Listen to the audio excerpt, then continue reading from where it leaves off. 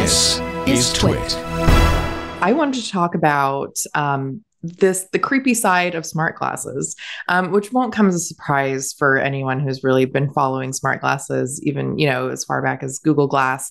But there's this project that some Harvard students uh, worked on called I-XRAY, and what this does is they use glasses like Meta Ray Bans. And what they're able to do is essentially use facial recognition as they're walking around to scan people's faces um, and then use reverse facial recognition tools to figure out, um, to, to, find some URLs uh, with some information that matches what what's been scanned and then using large language models to um, add details like a person's name or their job or you know addresses relatives. It, it's just it's so far reaching um, they're also you know able to find um, you know using uh, the interesting thing here is not only can they use tools that have existed for so long but what they mention is that um, the prevalence of large language models and and how good they've gotten has has made it easier to have this very comprehensive data again just from putting on smart glasses like meta's ray bans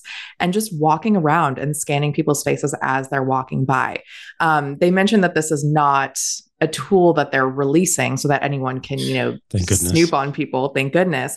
It's kind of just to demonstrate how these smart glasses which you know meta pitches these as glasses that can kind of blend in and look like regular glasses, which is cool, but then also raises concerns about well, if they just blend in, like when people had Google Glass and were dubbed glass holes, it was because it was like it was obvious that you were wearing something that looked kind of dystopian and odd and and you know unsettling. Um, but these glasses are designed to just look like glasses, and so it becomes harder to tell. Even if there's a little you know light that shows up when you're recording, not everyone's going to notice that light, especially in bright sunlight or if they're in a crowd. Um, so it really just does raise these concerns because I feel like we're already, I feel this when I go out, but I feel like everyone's always, not everyone, there's a lot of people who are, I think, especially in California, who are maybe vlogging or taking videos or TikTok videos anywhere, but, you know, mm-hmm. especially in certain areas. And you have to be conscious of that. You kind of think, will I end up in the background of somebody's video at some point without, you know, consent and that's fine. I mean it's public spaces you can you can do that but this this is like next level right? It's not just you being in the background of somebody's video it's them finding out everything about you. Um, and so they had this video that they posted which was basically them walking around and talking to people and just sharing like oh my gosh are you so and so don't you work at so and so and they had all this Whoa. information that they had just gathered which is really creepy and these people kind of went along with it like yeah i am that person. And it kind of seemed like this endearing like oh i know who you are and i know your work and i've read your research or whatever whatever, but it's really just them gathering all this data super, super easily just by putting on these Ray Bans. That's pretty chilling, right? I mean, with us, no, it's a sort of um, what is that? Uh, dramatic irony, yeah. Uh, in the sense that we know what's going on, the the, the person doesn't.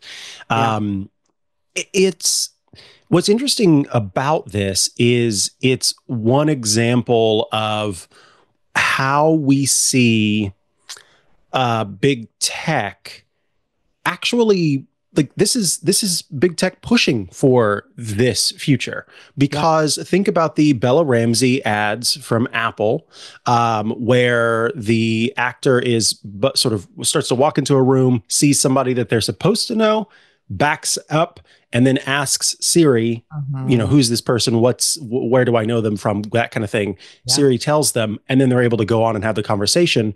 It's being pushed as a cool future feature, a feature that you would want to have, an, an option that you'd want to have. But while that is that that the way that that's done is through somebody's own um, you know uh, data that's available mm-hmm. where it's looking at uh, your location that you've shared that you've done you know you've opted blah blah blah having it be the other way around is chilling yeah. but i always come back to when it comes to this uh, idea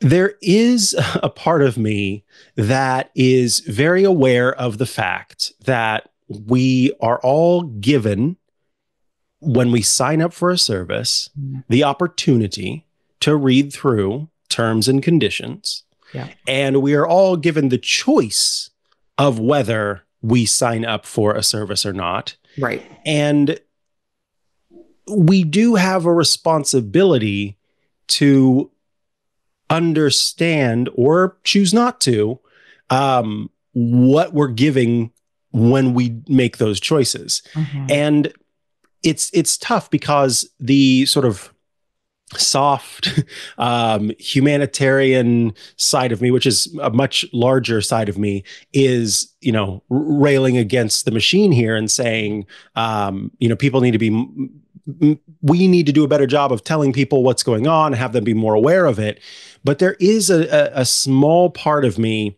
that I guess tries to have empathy for literally everything. And so I have empathy for the company in that situation. And I say the company's doing their due diligence right. in having it be in the fine print that this is the situation and that your data is available. Mm-hmm. And I've noticed, as many people do, that it does oftentimes take object lessons for humans to learn, mm-hmm. learn like not to do something or to to to be better about something.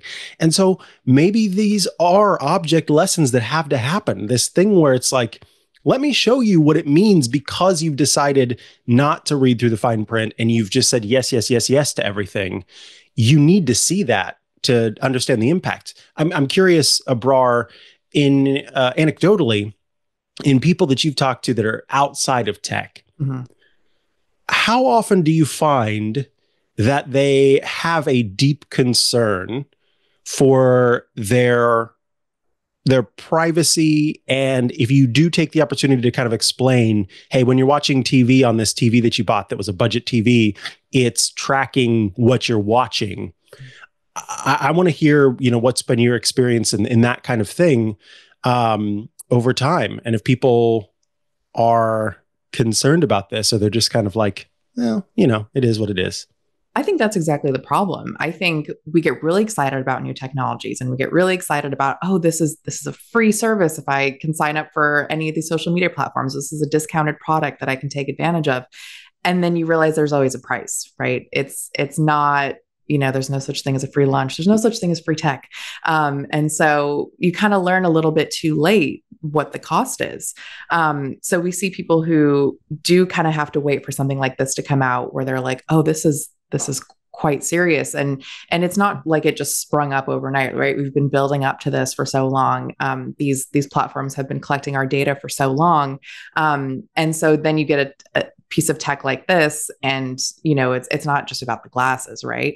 People are concerned about what glasses can record and capture but it's about everything that it's able to access and what that bigger picture looks like. So yeah i think you know we who are in this space whether we're we're reading or writing these tech stories we know what the privacy implications are. We understand the dangers but we still engage in it, right? And so imagine if you don't necessarily know um, everything that's at stake, and um, and yeah, I think a, lot of it is just um, very much in the dark. Yeah, yeah, uh, it's I I I celebrate this this use of the technology as a means because very clearly, you know, they're not making it available to people. They're literally showing you, look at mm-hmm. this thing that you can do with it. It's not great that this can this can happen. Um, and I, so going back to the question that I asked you, um, answering it for myself, I will say that I have seen, which I've been happy about, an overall increase in awareness of one's um, sort of data value and one's privacy. And I like that that has happened. Yeah. But it only reaches to a certain extent. Mm-hmm. And that's been the fascinating thing for me is while I have seen more people showing concern about an app, say, tracking them, I specifically brought up the TV example because that is so far down the line for people that again anecdotally uh-huh. i've explained that in the past and they just that's just one that they don't really care about and there are a few out there where it's like oh that's doing that that's fine that you know yeah. that makes sense and it's it's not to the level uh, that we have and the awareness i think that we and by we i mean those who who study this stuff every day and who uh, do in different ways read through terms and conditions and, and understand the implications therein um, it's not there yet. And I'm curious if it will get there or if eh, because I almost saw there there used to be a whole heck of a lot of um, of apathy about uh, privacy and uh, especially the phrase you would always hear. I they'd always kind of joke. I don't care if the CIA is looking at my stuff. I'm not doing anything wrong. Uh, if somebody wants to look at my stuff, I mean, I'm just boring. So who cares? Yeah. That was the refrain. I used to have that. That used to be my refrain. And then I I remember the day that it changed because uh, a good friend of mine convinced me that that apathy was only making things worse mm. and then i you know so i became kind of hypersensitive to it at least an awareness of it and i saw a decrease in that apathy an increase in that concern but i'm wondering if it's tanking again a little bit mm-hmm. because it can feel a little overwhelming right when you just we're at a place where you kind of have to accept and this is the that's that's the thing that i kind of struggle with saying that but do you? You almost do have to accept that it's going to be out there. We're all having not just our phones now, but also our little, you know, lenses on our face and all this other stuff. And given that that technology is there, you either exist in society or you don't, but we don't really have the option to not exist in society. So, yeah, it's just yeah. kind of there. I do think we've kind of grown numb to it because think about all the times that we hear about all of our most personal data being leaked, right? By whatever it was, whether it's a corporation or whether it's a, product that has been violating our, our privacy. I, I do think it's so hard to still feel shocked or angry by it when it happens all the time. And so that's just kind of a disappointing reality. And, now, and then on the flip side of it, these companies clearly create a product that is valuable for people. And so they're not going to walk away from it if it's a tool that helps them connect with people or makes their lives easier. And it's mm-hmm. just a mm-hmm. really unfortunate cost that you have to pay. I mean, that's that's the price that you pay for something that you want to use and find it difficult to remove yourself from. And even if you don't you know even if you're not on social media again there are ways that your your information is going to be compromised anyway it is so hard privacy I don't think it exists anymore. And I just think that's it's a tough pill to swallow, but that's kind of where we're at right now. Thanks so much for watching this little chunk of Tech News Weekly. If you'd like to get the full episode, well, head over to twit.tv slash TNW. There you'll find buttons you can click or tap to subscribe to the entire show in audio and video formats. Or just look in the description. We've got links down there as well.